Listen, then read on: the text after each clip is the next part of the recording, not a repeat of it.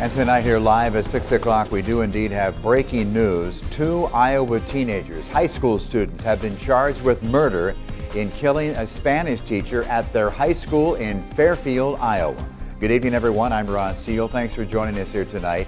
The Jefferson County Attorney now tells us the name of the victim is Nohema Graber. Ms. Graber was first reported missing earlier this week on Wednesday. She has been a Spanish teacher for the last nine years at Fairfield High School.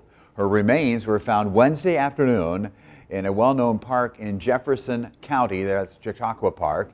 And that's where we're finding tonight KWWL reporter Travis Breeze. And Travis, you're live at the park. What do we know at this point about this gruesome crime? Ron, I am at the east edge of the park right now, and there is uh, one rope of crime scene tape on a bridge here. The county attorney's office uh, has not told me one way or the other if this is connected to the investigation. It certainly could be. It doesn't look like an active investigation or an active crime scene right now. The park is open and people have been walking around. Two 16 year olds, Willard Noble Chaiden Miller and Jeremy Everett Goodale have been charged with first degree homicide and a conspiracy to commit homicide. They are being tried as adults. The county attorney says Graber's body was found with severe blunt force trauma and the investigation is ongoing.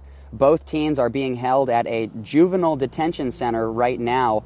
The school district community is reacting to this today. They released a statement saying the Fairfield Community School District is saddened by the tragic death of longtime teacher Nohema Graber. In her nine years with the Fairfield High School, Miss Graber touched the lives of many students, parents, and staff. The county attorney also told me today this is a small, tight knit community, and he says this is going to send shockwaves throughout the town.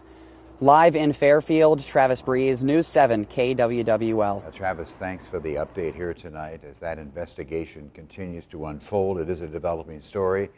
We'll keep you updated both on air and online as we work to get more details about that murder investigation out of Fairfield.